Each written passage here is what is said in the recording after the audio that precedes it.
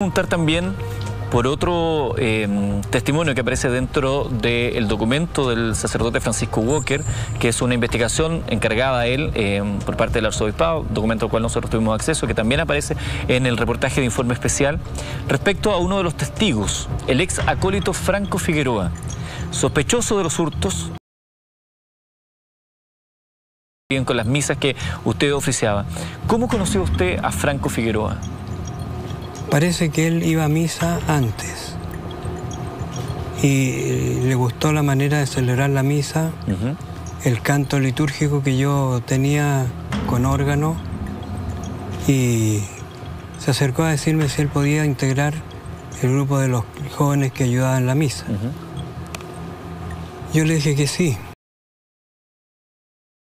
Amigo del padre Tigma y le ayudaba a las misas a él.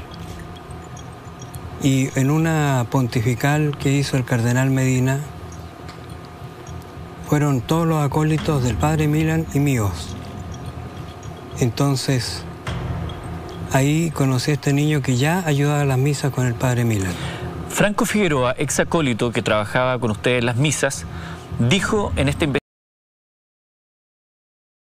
usted, comillas, sé que tuvo relaciones con muchos tipos, varios que han sido acólitos de él alguna vez, Toda la gente que está en torno al padre Tito tiene problemas de homosexualidad. Por ejemplo, Milton, el sacerdote recién ordenado en Roma, también me hizo insinuaciones sexuales alguna vez. Respecto a mm, que usted tenía una relación homosexual con Luis, él dice, un tipo adulto con el que se metía en la pieza. Yo le ayudaba en la misa y él a veces me decía, después de la consagración, llámame a ese tipo que está ahí, me lo señalaba y me decía, mira este tipo que es rico, mira sus piernas.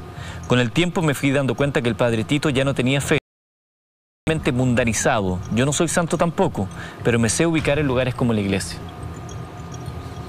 Ahí hay una una falacia de pensar que yo tenía acceso a cualquier acólito o cualquier joven. Este niño, no sé por qué, eh, tenía como cierto grado de, de dificultad en el trato con el resto de los acólitos. Creo que Franco quería ser el único, quería ser el protagonista y él no es testigo de ninguna acción mía que implique un comportamiento homosexual. ¿Usted nunca le dijo a Franco, mira qué rico este tipo, tráelo a mi habitación? Eso es una cuestión impresionante porque no puedo ser tan pagano que en la consagración o en la misa yo le haya dicho, mire este tipo. Cuando se le pregunta a Franco por qué se distanciaron, él dice, y lo voy a decir textual, como está la investigación, que usted pedía favores sexuales. Él empieza a hacerme cariño y me dijo directamente, disculpen nuestros televidentes, querís culiar. Y yo lo rechacé. Después muchas veces se repitió esta situación en la catedral, en la calle o en el auto. Él, el sacerdote Rivera, no lograba entender. Me decía, yo no entiendo cómo hueón junto y conmigo no. Yo reconozco que yo también he caído en Yo sabía lo que era bueno y lo que era malo.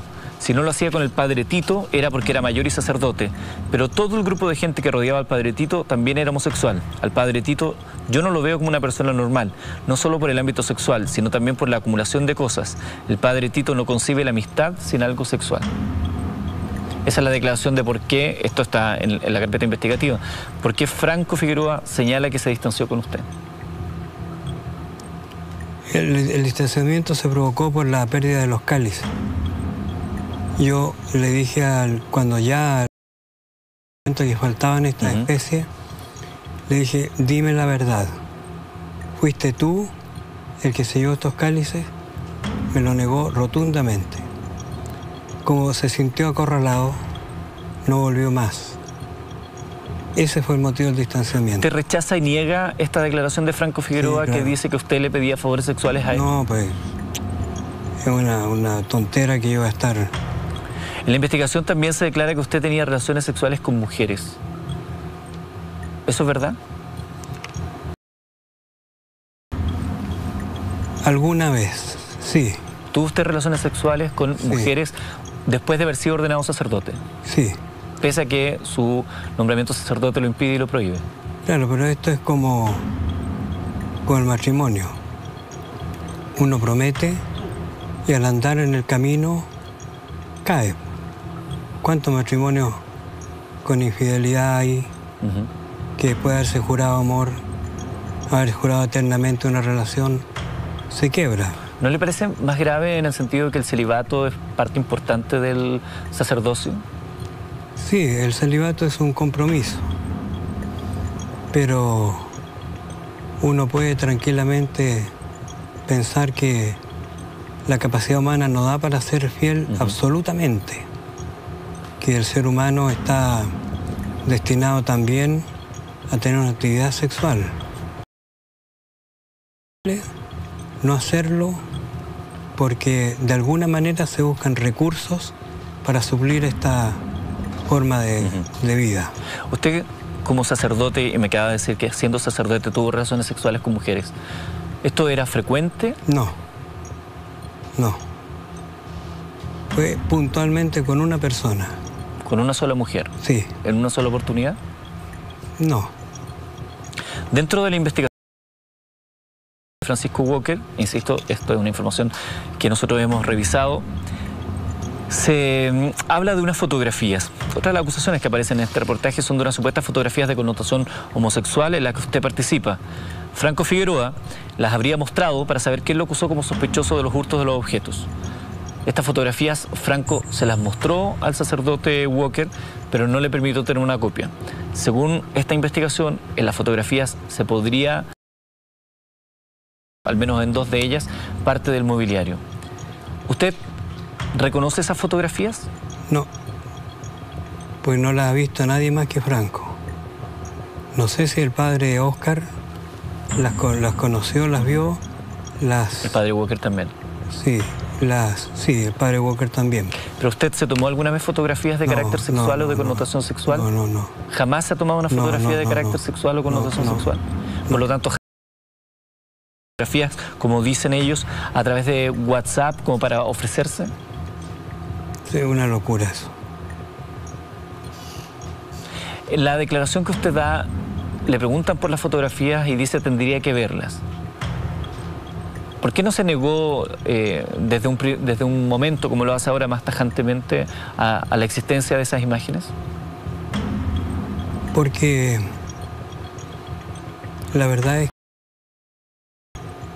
que en principio cuando me consultaron sobre este tema, yo preferí verlas. Porque si existían, yo las reconocía o fue un montaje o un truco fotográfico. Por eso no, no lo hice en esa época. Y ahora sí, al pasar el tiempo he recordado algunas situaciones que me, me confirman que no. ¿No existe ninguna posibilidad que quizás, sin que usted lo supiera, la hayan fotografiado en de corte eh, sexual? No, no. No. Padre, dentro de lo que señalan acá algunas de las personas que hablan en la investigación, ¿usted podría decir que es homosexual? No. He tenido algunas conductas homosexuales, sí, pero no me reconozco como un homosexual.